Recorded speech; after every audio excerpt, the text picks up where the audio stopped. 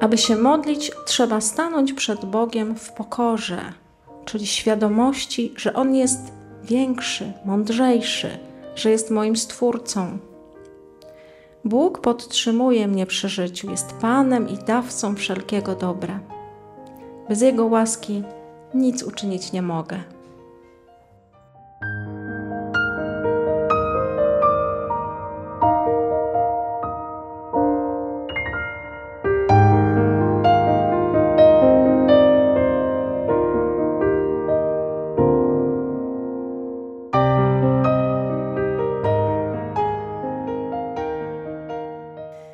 To już ostatnie spotkanie, ostatnia lekcja w Szkole Ufności Świętej Siostry Faustyny. Y, nie bójcie się, nie będzie egzaminu, będzie trochę powtórki i podsumowania. Y, zatem przypomnijmy sobie, na czym polega postawa ufności Bogu w nauczaniu naszej świętej nauczycielki. Zaufanie Bogu to całożyciowa postawa całożyciowa, nie chwila, moment, ale całożyciowa postawa wobec Boga, która wyraża się w pełnieniu woli Bożej, a tę wolę Bożą mamy zawartą w przykazaniach, obowiązkach stanu, każdy ma swoje obowiązki, yy, oraz w dobrze rozpoznanych natchnieniach Ducha Świętego. Postawa zaufania obejmuje yy, następujące cnoty: wiarę, nadzieję, miłość, pokorę i skruchę. I dzisiaj spojrzymy sobie na te elementy ufności w kontekście modlitwy, bo taki mamy dzisiaj temat ufność a modlitwa. Istotą modlitwy jest, jak wszyscy wiemy, spotkanie z Panem Bogiem. Święta Teresa od Dzieciątka Jezus pięknie zdefiniowała modlitwę. Modlitwa jest dla mnie wzniesieniem serca, prostym spojrzeniem ku niebu, okrzykiem wdzięczności i miłości, zarówno w cierpieniu, jak i radości. Ta definicja jest w katechizmie Kościoła katolickiego, więc można sobie do niej wrócić. Modlitwa nie jest tylko dla świętych, czy szczególnie pobożnych, ale dla wszystkich wierzących. I umotywowała to nasza święta siostra Faustyna takimi słowami: W jakimkolwiek dusza jest stanie, powinna się modlić. Musi się modlić dusza czysta i piękna, bo inaczej utraciłaby swą piękność. Modlić się musi dusza dążąca do tej czystości, bo inaczej nie doszłaby do niej. Modlić się musi dusza dopiero co nawrócona, bo inaczej upadłaby z powrotem. Modlić się musi dusza grzeszna, pogrążona w grzechach, aby mogła powstać. I nie ma duszy, która by nie była obowiązana do modlitwy, bo wszelka łaska spływa przez modlitwę. Modlitwa jest aktem wiary, a jednocześnie tę wiarę umacnia. Ksiądz Edward Staniek dostrzega trzy wymiary tajemni tajemnicy wiary w rozważaniach o modlitwie. Pierwszy zakłada istnienie i obecność Boga, czyli wierzę, że rozmawiam z kimś, nie z samym sobą, y, kimś, kto mnie słucha i może mi odpowiedzieć. I tym kimś jest Bóg wszechmocny, czyli który wszystko może który jest nieskończenie mądry, a więc zna przyszłość i konsekwencje decyzji, jakie podejmę. Jest też miłością i pragnie mojego szczęścia. To jest pierwszy wymiar. Drugi wymiar to wiara nie tylko w to, że Bóg jest, patrzy na mnie, słucha mnie, ale również w to, że nie jest bierny, tylko działa i wysłuchuje moich próśb bo obiecał. Powiedział: O cokolwiek prosić mnie będziecie w imię moje, ja to spełnię. To jest jego obietnica. Zatem mogę na niego liczyć. Gdy z wiarą pomodlę się o to, żeby spadł deszcz, to wychodząc z domu powinienem zabrać ze sobą parasol. W trzecim wymiarze wiary mam pewność, że Bóg da mi najlepsze rozwiązanie na moje problemy i prośby. I teraz pomyśl, czy w Twojej modlitwie są wszystkie te postawy. One przecież wyrażają zaufanie do Boga.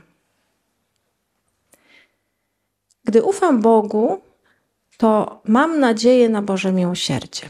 Nawet jeśli zacznę y, trochę tracić tę nadzieję, to w spotkaniu z Bogiem na modlitwie odzyskam ją. Potwierdza to znowu siostra Faustyna. W modlitwie zawsze znajduje światło i moc ducha, chociaż są nieraz chwile ciężkie i bardzo przykre.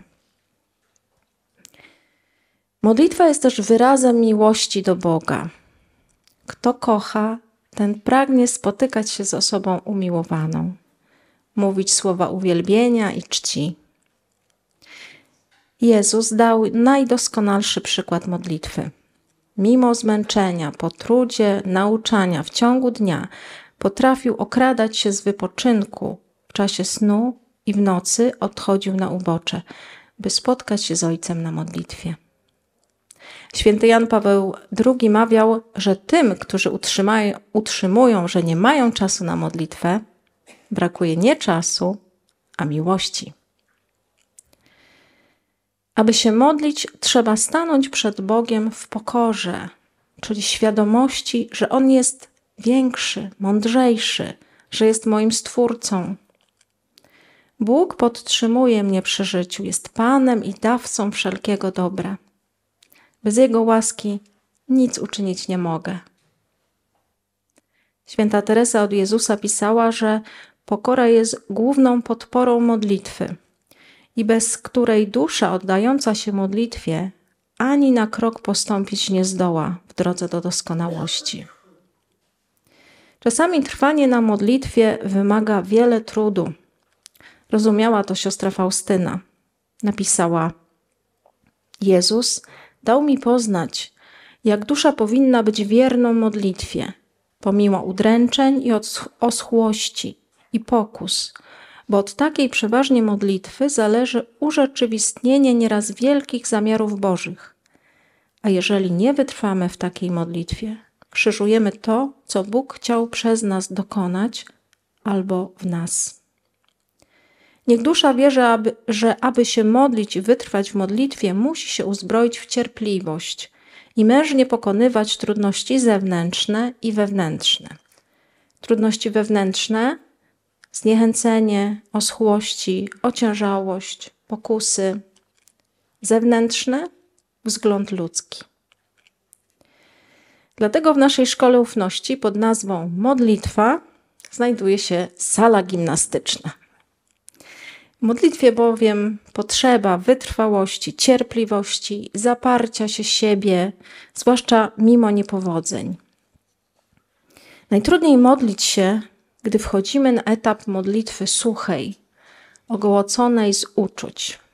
Wtedy przychodzi pokusa zniechęcenia, rezygnacji, czy taka modlitwa w ogóle ma sens. Okazuje się, że może ona mieć wielką wartość. Jest pewna opowieść o królewskim grajku, który zaczął tracić słuch, aż w końcu przestał w ogóle słyszeć. Król jednak nadal pragnął słuchać jego gry. Muzykant grał więc dalej, ale teraz już tylko dla króla. Podobnie, gdy doświadczamy oschłości na modlitwie i nic nie czujemy, wtedy modlimy się nie dla siebie, ale dla króla, dla Boga. On docenia nasze pragnienia i wysiłki bycia z Nim. Nasza bezradność i przyjęcie tej bezradności w pokorze otwiera nas na Jego łaskę by to Duch Święty modlił się w nas. Są różne rodzaje modlitwy. Jedną z nich jest codzienny rachunek sumienia. Tak, rachunek sumienia to też modlitwa. To prawdziwy dialog Boga z człowiekiem i człowieka z Bogiem. Staję w nim przed Bogiem i nasycam się Jego miłosną uwagą. Rachunek sumienia nie jest liczeniem grzechów, ale mierzeniem miłości Boga przez dostrzeganie Jego obfitych darów otrzymanych w ciągu dnia. Potem następuje badanie mojej odpowiedzi na tę boską miłość. Jaka jest moja miłość? Dostrzeganie swoich zaniedbań i grzechów, zawsze w świadomości Bożej miłości, prowadzi do szczerego żalu i skruchy. A skruszone serce wypełnia modlitwa przeproszenia Boga za niewierność w miłości oraz prośba o przebaczenie, co z kolei skłania do poprawy i nawrócenia. Generalnie każda prawdziwa modlitwa, spotkanie z Bogiem prowadzi ku przemianie, ku nawróceniu, ponieważ otwiera na łaskę poznania Boga i Jego woli. Na modlitwie dokonuje się konfrontacja mojej woli z wolą Bożą. Przypomnijcie sobie takie modlitwy, gdzie niejako toczyliście walkę swojej woli z wolą Bożą. Owocem modlitwy jest zgoda na Boży pomysł na moje życie i dostrzeżenie w nim miłości Boga. Zatem człowiek modlitwy wypełnia wolę Bożą w codzienności, a więc ufa Bogu. I odwrotnie, aby pełnić wolę Bożą w każdej chwili życia, potrzeba nieustannej modlitwy, ciągłego jednoczenia się z Bogiem. Nie chodzi o to, żeby całe dnie spędzać w kościele, ale by żyć pełnym zawierzeniem Panu podczas pracy, odpoczynku, spotkań z ludźmi. Święta Faustyna wyznała: Z nim idę do pracy, z nim idę na rekreację, z nim cierpię, z nim się cieszę, żyję w nim, a on we mnie. Nigdy nie jestem sama, bo on mi jest stałym towarzyszem. Modlitwa ma dotykać życia. Nie może być tak jak y, w bajce Ignacego Krasickiego. Dewotce służebnica w czymś przewiniła. Właśnie na ten czas, kiedy pacierze kończyła. Obróciwszy się przeto z gniewem do dziewczyny, mówiąc właśnie te słowa i odpuść nam winy, jako my odpuszczamy, biła bez litości. Uchowaj, Panie Boże, takiej pobożności. Nie o taką modlitwę nam chodzi. Siostra Faustyna, będąc w szpitalu na prądniku w czasie Wielkiego Postu, modliła się w swojej separatce. Nagle usłyszała dzwonek pacjenta z sąsiedniej sali. Przerwała modlitwę i poszła pomóc choremu. Gdy wróciła do siebie, zobaczyła Jezusa, który jej powiedział: Córko moja, większą mi sprawiłaś radość, oddając mi tę usługę, aniżeli byś długo się modliła. Chodzi o to, by być otwartym na wezwanie Boże, by słuchać, czego Bóg oczekuje ode mnie w danej chwili. Nieustanna modlitwa polega na zgadzaniu się z wolą Bożą i uwielbianiu Go w każdej chwili życia wypełnionym modlitwą, cierpieniem, pracą, ale także odpoczynkiem, rekreacją, spotkaniami, działaniami apostolskimi. Ufność nie wyraża się jednym zawołaniem Jezu ufam Tobie, ale zawierzeniem Bogu każdego dnia z Jego detalami. I tak na podsumowanie, nasz cały rok intensywnej pracy, osiągania postawy ufności nie tylko miał nas przybliżyć do Boga, ubogacić nasze życie duchowe, ale jeszcze zapewnić otrzymanie potrzebnych łask. Bo wielka ufność Bogu wręcz zniewala go do ciągłego udzielania darów ufającemu. A więc miara łask zależy od wielkości naczynia. Łaski z mojego miłosierdzia czerpie się jednym naczyniem, a nim jest ufność, powiedział Jezus. Im dusza więcej zaufa, tym więcej otrzyma. Wielką mi są pociechą dusze o bezgranicznej ufności, bo w takie dusze przelewam wszystkie skarby swych łask. Cieszę się, że żądają wiele, bo moim pragnieniem jest dawać wiele, I to bardzo wiele.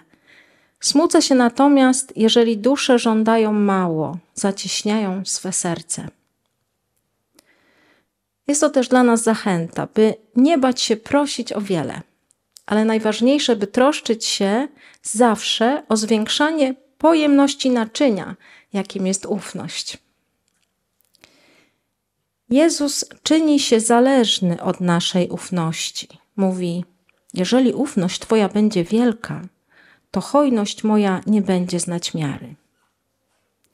On obiecuje pomoc w dążeniu do świętości, grzesznym darowanie win, a konającym spokojną i szczęśliwą śmierć. Kiedy dusza zbliża się do mnie z ufnością, czytamy słowa Jezusa w innym miejscu dzienniczka, napełniam ją takim ogromem łaski, że sama w sobie tej łaski pomieścić nie może, ale promieniuje na inne dusze. A czyż nam, apostołom Bożego Miłosierdzia, nie o to chodzi? Chcemy promieniować miłością Bożą na innych poprzez czyn, słowo, modlitwę i zachęcać do ufności w nieskończone miłosierdzie Boże. Zadaniem Twoim jest zdobywać mi duszę modlitwą i ofiarą, zachęcaniem do ufności w miłosierdzie moje. To też z dzienniczka. Im nasza ufność będzie większa, tym więcej dusz przyprowadzimy do źródeł miłosierdzia. Możemy być naprawdę pośrednikami między niebem a ziemią. I te obietnice Jezusa, dyrektora Szkoły Ufności, niech będą certyfikatem ukończenia roku formacyjnego. Przypomnijmy sobie motto szkoły: ufność Bogu bez granic. Nie stawiajmy granic w zaufaniu Bogu. Wszystko jest możliwe dla ufającego. Dziękujemy Matce Bożej za wierzenia, za jej obecność przy nas w, naszej, w czasie naszej drogi formacyjnej oraz na świętej Faustynie, naszej nauczycielce, za jej bogate nauczanie. Wychodzimy już z budynku Szkoły Ufności świętej Faustyny. Nad drzwiami wyjściowymi widnieje napis: Jezu, ufam Tobie. Teraz już możemy ze świadomością mówić te słowa. Wiemy, co one oznaczają, co się za nimi kryje, jaką postawę ukazują. Powtarzajmy je często w sercu i na ustach. Jezu, ufam Tobie. Jezu, ufam Tobie. I jeszcze raz. Jezu, ufam Tobie. Dziękuję.